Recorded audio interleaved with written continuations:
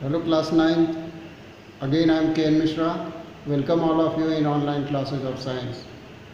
Class, today is chemistry term. So I am going to tell you about remaining portion of chapter 1 that is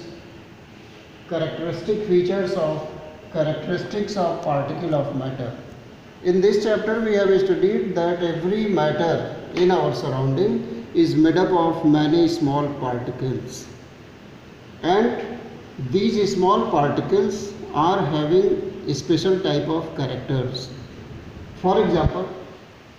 here two characters of particle of matter I have written and I want to explain these two because these two characters are given, given in your book. First is particle of matter have space in between them all particles of matter they are having space in between them and about this character that they are having a space activity 1.3 is given in your book ये activity 1.3 क्या है हम आपको बताते हैं और अगर एक बीकर में 100 ml वाटर हम ले लें और उसमें टू थ्री ड्रॉप ड्रॉप्स हम इंक का डाल दें इंक का टू और थ्री ड्रॉप्स हम मिक्स कर दें ठीक है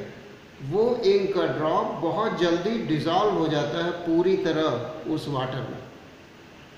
फिर हम अगर चाहें भी तो इंक के ड्रॉप को उस वाटर में से अलग नहीं कर सकते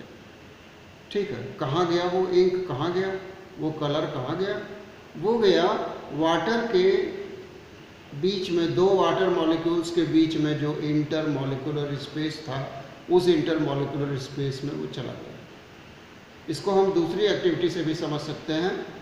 अगर हम शुगर या सॉल्ट डाल दें हंड्रेड एम वाटर में और उसको स्टर कर दें वन स्पूनफुल शुगर डाल दें या सॉल्ट डाल दें उसको स्टर कर दें तो वो थोड़ी देर बाद वो शुगर या सॉल्ट प्रॉपरली मिक्स हो जाता है उस वाटर में उसके बाद हम उस उस वाटर में से निकाल के अलग नहीं कर सकते सॉल्ट या शुगर को तो ये एक्टिविटी भी प्रूव करती है कि all particles are having spaces in between them so they are having space in between them और ट्वेंटी वन पॉइंट थ्री आप लोग पढ़ लीजिएगा बुक में दिया हुआ है now second characteristic feature of particle of matter is that particle of matter attract each other they use to attract each other इस रेफरेंस में भी आपकी बुक में तीन एक्टिविटीज़ दी हुई हैं एक्टिविटी 1.6 जो कुछ ह्यूमन बींग्स को लेकर के है एक ग्रुप बनाया गया है एक पॉपुलेशन का ग्रुप बनाया गया है और दूसरी एक्टिविटी 1.7 और फिर एक्टिविटी 1.8 एक्टिविटी 1.7 जरूर आपसे हम डिस्कस करेंगे जिसमें आयरन ने चाक और रबर तीन चीज़ें अगर हम लें और इन तीनों को तीनों के ऊपर हैमरिंग करें तीनों के ऊपर हैमरिंग करें तो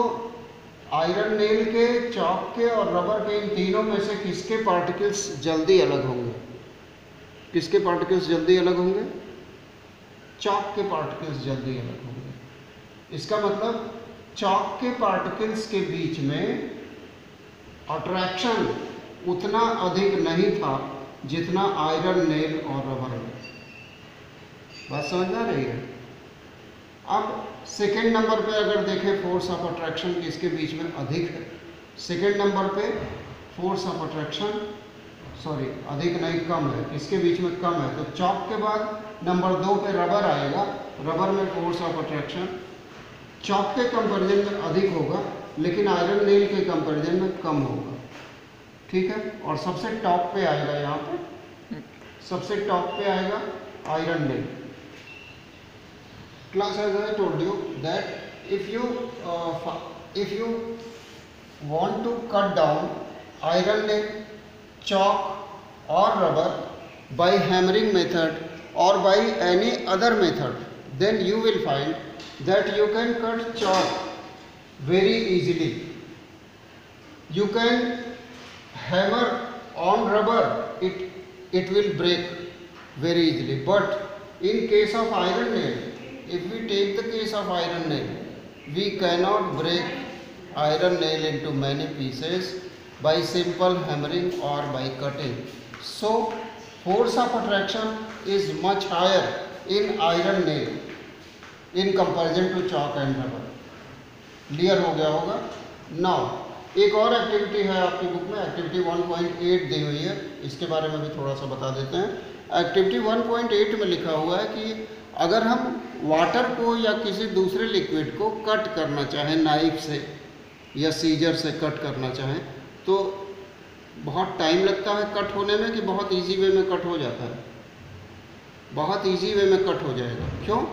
क्योंकि वाटर वाटर के दो मॉलिक्यूल्स के बीच में फोर्स ऑफ अट्रैक्शन कम है फोर्स ऑफ अट्रैक्शन बहुत कम है फोर्स ऑफ अट्रैक्शन कम है इसलिए हम लोग बहुत इजीली उसको कट कर सकते हैं